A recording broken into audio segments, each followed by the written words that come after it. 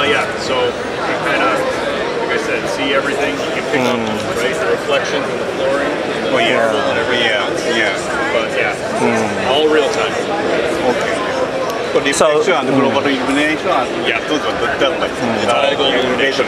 Yeah. Yeah. So this dog reflects uh, the scene It's- behind it's behind the behind the camera. Yeah. Oh yeah. you're picking up all Oh, the yeah. reflections like you would in real Myself. world. Yeah. Yeah.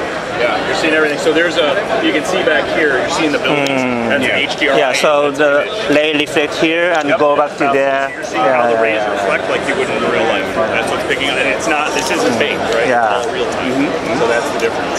So that, that's why uh, the Quadro RTX has um, big size memory.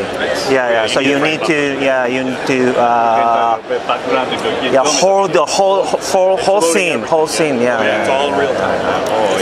Oh, that's the difference. That's why I need the big frame buffer. Yeah, yeah. So that's why there's right the three different versions of the mm. cards, depending on your kind of scenes you work oh, with. yeah, we give you options, and then if it's still not enough, you have the NVLink, Yeah. and then you, you double the memory. So.